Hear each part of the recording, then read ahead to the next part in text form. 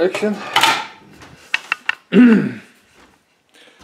God aften, og velkommen til Monko TV. Jeg er stadig John, en gammel øh, dansk YouTuber. Og øh, yes, jeg tror bare, jeg skal sige, at jeg er John, en gammel YouTuber. Klokken er 20.07, den er ved at være halv 8. Det er min officielle øh, dag 11 af min YouTube-challenge. Jeg har ikke købt noget. Jeg har spist varm mad ikke så lang tid siden. Nu har jeg slået mave, og jeg har set nyheder på DR1 kl. 18.30, og jeg har set lidt i kvarters tid TV2, men nu er det simpelthen tid til øh, Netflix. Så, men inden det skal vi lige have en cola, og så skal jeg lave den her video her. Yes, jeg vil bare sige tak for den uge her. Nej, det kan jeg lave en ny video om i aften. Det her, det er min officielle dag 11 af min YouTube channel. Jeg kan jo lave en video, klokken er ikke så mange, den er ikke engang halv 8. Jeg kan jo lave en video sent i aften, så hedder tak for den uge, hvis jeg har lyst. Yes, men før vi kommer i gang, så synes jeg simpelthen, øh, vi skal tage et glas cola. Det er jo noget, øh, jeg kommer til at løbe tør. I løbet af 10 dage, så er der ikke mere cola. Det er der ikke noget at gøre noget ved, fordi øh, jeg er glad for, at jeg bare fik noget cola. For hvis jeg ikke har købt for 1000 kroner online, så har jeg ikke fået noget. Så jeg skal være glad for det, jeg har. Yes, og øh, skål på det.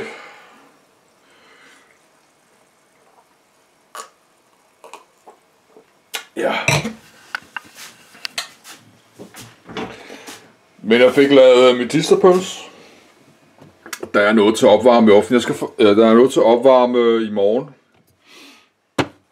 Der er lige øh, 3-4 halve til noget pålæg. Det glemte jeg sidst, der måtte jeg smide ud her. Yes, jeg skal faktisk huske, øh, jeg skal lige ned i kælderen og hente, øh, der det har 2 kilo kartofler. Der ligger sådan en nettopose, som det kan jo ikke tåle... Øh, der er nogen, der siger, at man må ikke lægge uh, grøntsager i en plastikpose. Klart, det kan jeg godt se. De kan ikke få luft med. Jeg har, jeg har, altså ikke sådan en lille papkasse med aviser, man kan lægge aviser og sådan nogle ting.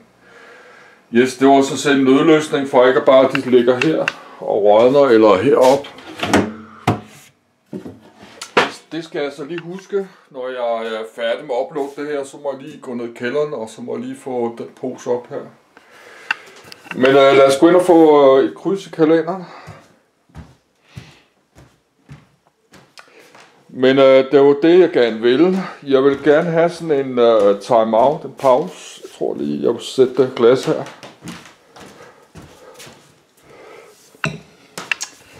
Jeg øh, vil gerne det her.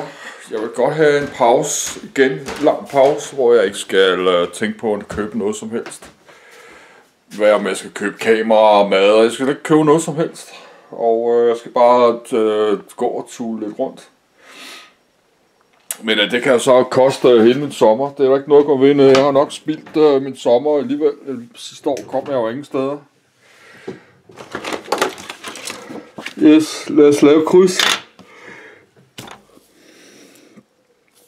Det er så min øh, dag 11.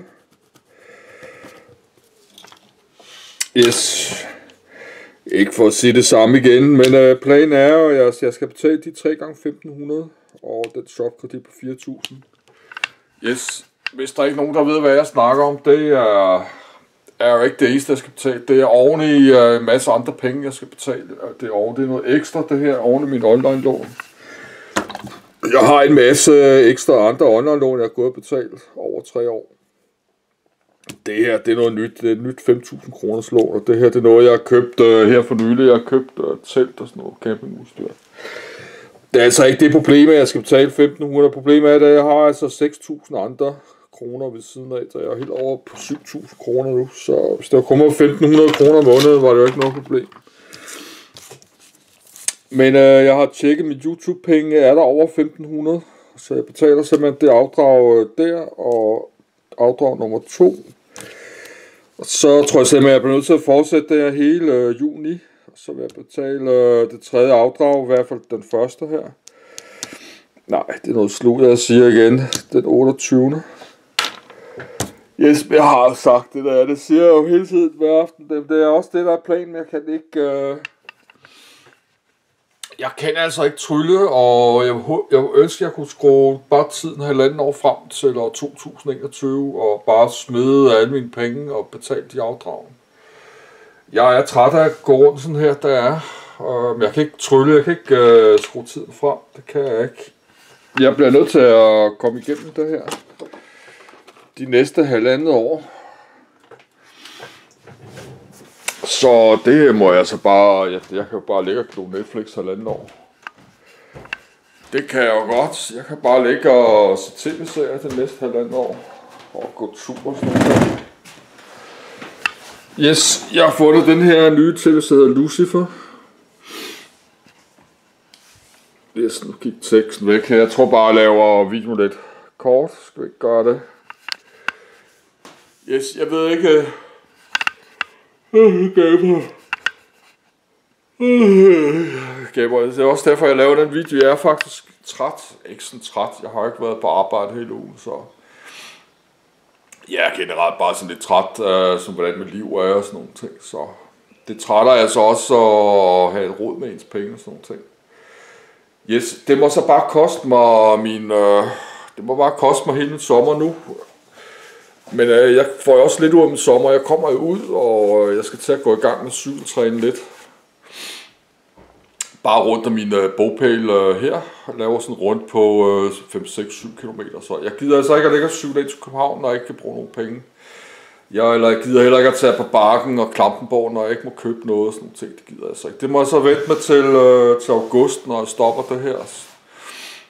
Men øh, indtil dag, så kan jeg jo godt trille øh, rundt her, så kommer bare lidt i form. Og så kan jeg jo rejse videre ud mod Klampenborg Barken, når jeg engang jeg stopper det her. Og ind til København. Jeg vil rigtig gerne ind til København og nuller rundt. Ikke for at drikke. Jeg skal overhovedet ikke ind til København for at drikke. Jeg skal bare ind og, og cykle rundt. Jeg vil gerne ud på Amager og se Ørestaden. Og yes, jeg skal ind og genopdage øh, København helt forfra. Jeg kan selvfølgelig godt huske, hvordan øh, vejen er sådan nogenlunde øh, i forhold til hinanden. Så. Men der er mange steder, jeg aldrig nogensinde har været ude på Amager, øh, selvom jeg er her fra området. Jeg har masser af steder ude på Amager, og jeg aldrig har været der i København. Masser af steder ude i Københavns Havn, jeg aldrig har været i Københavns Havn, er jo kæmpestor. Der er bygget øh, helt vildt meget øh, rundt omkring Københavns Havn. Jeg har ikke set det, fordi jeg har ikke været derinde øh, i siden år 2000 rigtig i København. Kun få gange, hvor jeg har været godt fuld, og der har været aften, og det har været øh, i taxa og sådan noget ting. Så det vil jeg gerne, og øh, det må vi se, men det bliver altså ikke øh, uden penge, hvor jeg skal købe noget, så... Yes, det er noget andet noget at tage til København, hvis jeg har flere tusind kroner på mig. Yes, det er det her ved at se, det virker meget sjov. Yes, hvad? Skal vi ikke bare sige sko og stoppe videoen? Sko. Yes, tak for den uge her. Yes, jeg lægger så bare klor Netflix øh, næste to år, så det gør vi så kort.